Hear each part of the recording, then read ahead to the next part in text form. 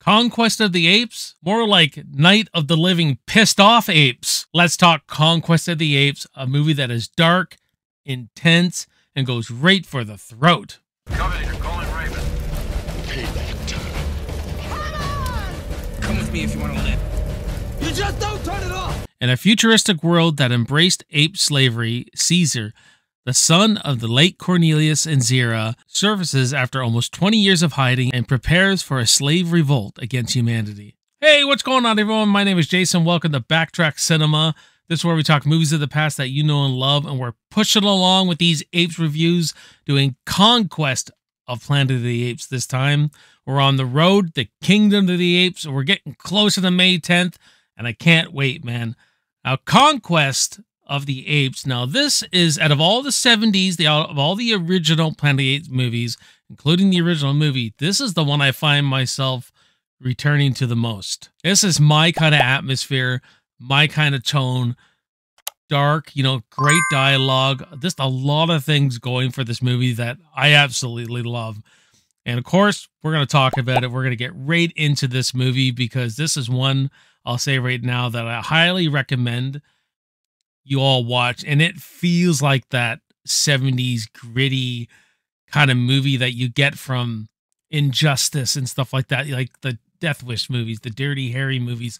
Conquest of the Apes almost fits into this mold. You know what I mean? Conquest of the Planet of the Apes was released in 1972, directed by J. Lee Thompson, and starring Roddy McDowall, Don Murray, Ricardo Montalban, and Hari Rhodes. So I love where they take things in this movie. This is basically the revolt against humanity, the apes rising. It's essentially you you look at the modern trilogy, Rise of the Apes, they took the the stuff in here and kind of molded their own story to it. And it was this fun going back and seeing how in this the 70s version how the, the the apes rose, you know what I mean? And with this character of Caesar, which is Cornelius and Zira's son, this is 20 years later, so Armando has been taking care of him in the circus. I do like some beats of the story. Some of it, I'm I'm just like, oh, you could have executed that better. But we find that all the cats and dogs, all the humans' pets, have been killed off by this strange disease.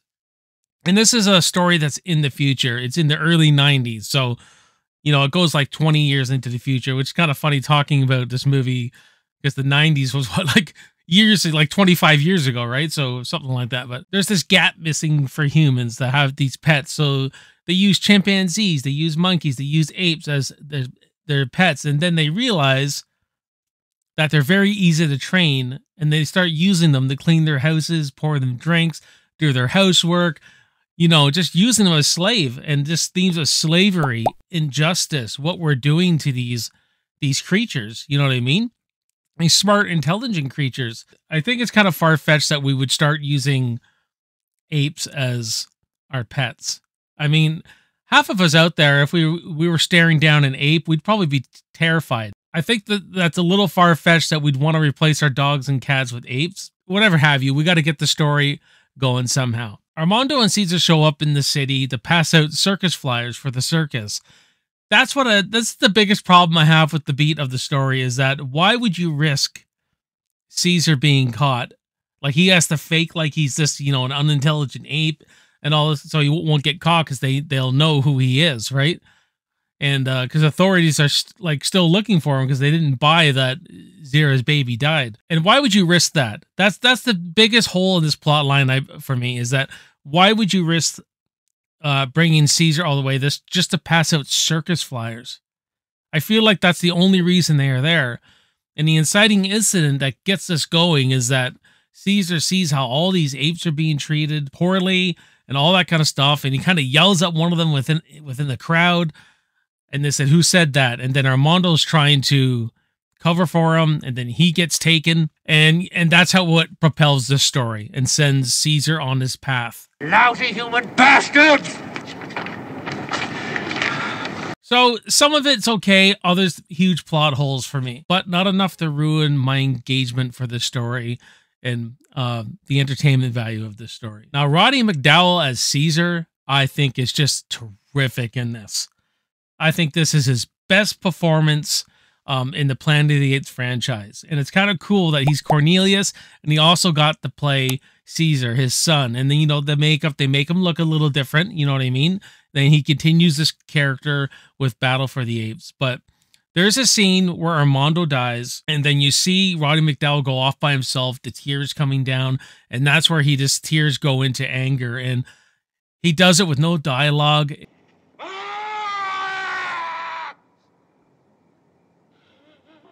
It is such a moving, gripping performance. And there's the big speech at the end of the revolt where there's freaking fire in the background. He's he's giving away this speech about, you know, we're gonna rise, my people, the apes, and you know, today you see the the rise of the planet of the apes. And originally it was so dark that the studio was like, no, we gotta have some positivity in there. That's this is just an, a, a dark, dark ending, right? In that smoke, from this day forward, my people will plot and plan for the inevitable day of man's downfall. And that day is upon you now! And so Roddy McDowall came in after and and said a few more lines and then that's why you see close-ups of his eyes when he's talking. This is where it kind of foreshadows, you know, apes and humans trying to live together, the ones that want to coexist and want to make it work. The themes of injustice, racial injustice, the themes of animal cruelty, what you see them do to these apes by some of these, you know, political leaders. The whole movie takes place in this city where it's kind of like a detention center where they train to be slaves for humans and what you see the apes go through if they um if they fight back they get electric shock treatment which you know goes into one of the cool scenes of the movies where they're doing that to Caesar they're giving the shock treatment and then a human helps him turns off the machine but he fakes it like he is being shocked and that's how he, he escapes and everything like that and I, yeah, I just love that the way Caesar starts this revolution. A lot of it is forced. A lot there's a lot crammed into a short period of time. I find, but you know, again, it doesn't wreck the enjoyment and everything. You see all the apes collecting machetes and knives, and you're like, this is getting fucking dark, man. Like they're they're ready to freaking go hunt down the humans.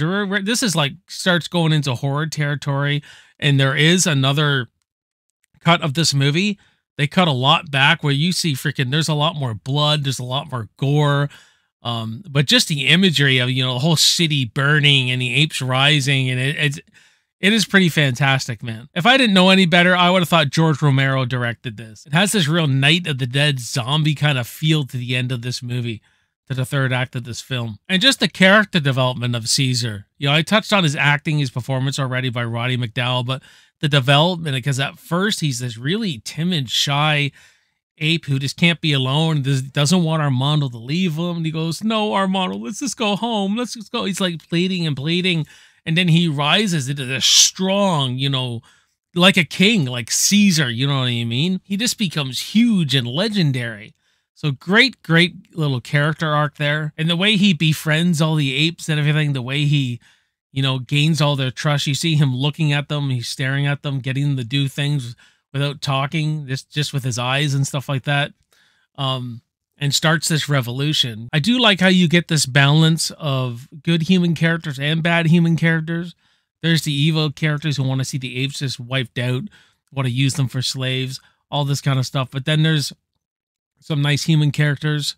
One in particular, human character who who helps Caesar and, you know, I just like that they do that, that they have always that balance of good human characters and bad human characters. These movies I find are really signs of the time they're made in. Like, this is 72. So, racial injustice, civil rights, all that kind of stuff that goes along with the social commentary of Planet of the Apes, you can kind of see through this movie. It's a dark addition to this franchise. And like I was talking about the third act, this is where all the action is, and it doesn't shy away from the action and how intense it could get. Like you start watching these Planet of the Apes films when you're going through the original to Beneath and to Escape and to this, it's just like, man, I didn't realize they were such they got to such dark territory in these original movies. It just has all the things I like in a film like this, and the fact they shoot the whole thing at night in the third act just adds to the atmosphere of what's going on and everything too. So guys, if you want a dark, twisted, intense ride for a Planet of the Apes film, then look no further than Conquest of the Apes. I'm going to give Conquest of the Planet of the Apes a solid B. So if you like Conquest of the Apes, then let's have a great discussion about it in the comments below. And if you don't like it, let's have a great discussion. Let's just talk this movie and talk about movies and talk about this great franchise. And if you haven't already, you like this content, please subscribe, like the videos, all that kind of stuff. Stay for the end card. So I put other Planet of the Apes reviews for you that I've done already as we continue our road to Kingdom of the Apes. My name is Jason. You're watching Backtrack Cinema. I will see you next time and I will see you in the movies. Cheers.